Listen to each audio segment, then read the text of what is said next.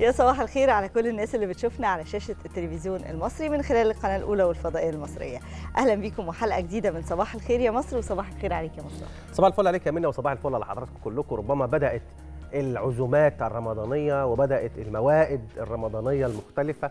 وكلنا عارفين إننا يعني كمصريين عندنا تقاليد كده مختلفة في آه، آه، الفطار في رمضان. عندنا مائدة رمضانية ربما تكون متميزة جدا عن كل العالم العربي بتبدأ بمجموعة من العصاير ويبقى فيها ما يعني عدد كبير من الوصفات وبتنتهي بصينية من صواني ال- البسبوسة أو الكنافة. فإحنا يعني عندنا أكتر من حاجة آه، بنعملها أو المطبخ الرمضاني عندنا في مصر عنده أكتر من صنف بيعمله.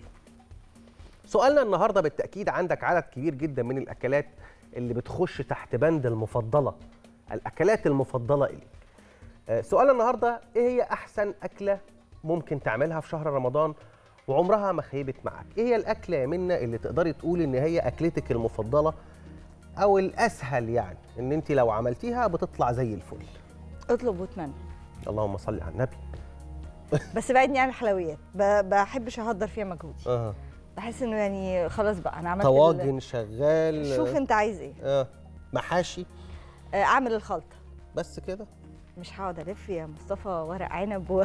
وكرنب وأضيع أربع ساعات علشان يخلصوا في 15 ثانية. آه. لا مش هعمل كده.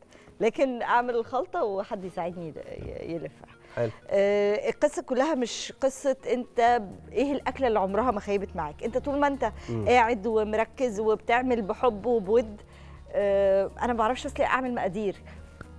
يعني أنا مش من الناس اللي أقول لك حط نص كوباية مش عارفة إيه لأ أنا بطبخ بالنظر مم. بالإحساس آه، مامتي كده وجدتي كده ما هو كده ف... يعني السنس. أقول حط آه. نص معلقة مش عارفة إيه وبهارات إيه أنا مش من الناس اللي بهاراتي كتير في الأكل بحس ان إن بتضيع طعم الاكل لو أنا حطيت بهارات كتير قوي ومش عارفة يعني هي بقى لنا فترة كده طالع قوي بالذات في برامج التلفزيون الخاصة بال- بالطبخ.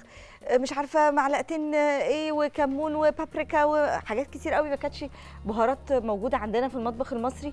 فمضيعة طعم الأكل اللي إحنا متعودين عليه كنا في بيوتنا. مم. يعني أنا فاكرة كويس قوي إن جداتنا آه، وجدودنا كنا لما نيجي ناكل في في بيوتهم كنا بناكل الأكل متبهر بملح وفلفل.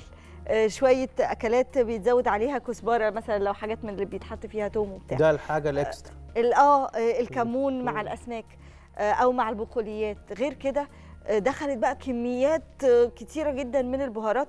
ضيعت الشكل بتاع أو الطعم الأصيل بتاع زمان مم. ال- الطعم اللي أنت كنت متعود تاكله في بيت آه، آه، أهالينا زمان. أيوه أيوه. فأنا بلجأ للشكل ده من من الطبخ. لما باجي أعمل أكلة بعملها على قديم حلوة. وبستخدم سمنتها وبس- يعني مش مش بعملها healthy لا لا مش دايما.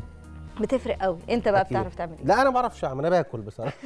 صح ولا لكن أنا أنا طبق سلطة؟ آه لا؟ أنا بعمل طبعا السلطة والعصاير والحاجات دي؟ آه طبعا. تغلي شوية كركديه. كل الكلام ده سهل جدا. لكن بالنسبة لي الأكلة المفضله لك فراولة في الخلاط، إحنا- الفراخ بالبطاطس شوية رز بشعرية. يا سلام. بارك الله فيما رزق. يا سلام حاجة يا يعني سلام. بسيطة و simple و طيب ما في احتراف أهو. آه. في أداء. في طبعا. طيب خلينا نعرف بقى الناس بتعرف تطبخ إيه. وندردش معاهم ونسمع آرائهم ونشوف يمكن يعني يدونا وصفة جديدة وأكلة جديدة. ي- يقولوا لنا يعني بيعملوا إيه في ال- خلال ساعات النهار بالذات ربات البيوت اللي بيتفرجوا علينا أكيد عندهم وصفات مختلفة وحاجات مختلفة كتير يعني. إيه أكتر أكلة ممكن تعمليها في رمضان أو أكتر أكلة ممكن تعملها في رمضان وعمرها ما خيبت معاك؟ وفي أصلا حاجة اسمها كده في أكلة عمرها ما خيبت معاك؟ ده سؤالنا اللي موجود على صفحتنا على فيسبوك مستنيين إجاباتكم. هنستعرضها معاكم في خلال حلقة النهارده.